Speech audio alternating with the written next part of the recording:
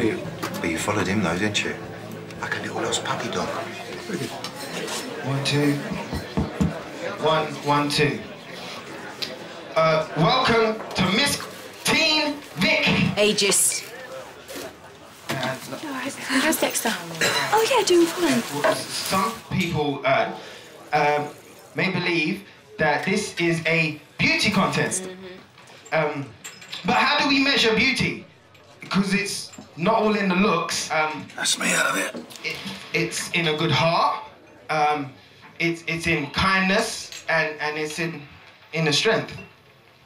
So, what is Miss Teen Vic really about? Well, uh, well, it's really uh, about Queen Vic because the Queen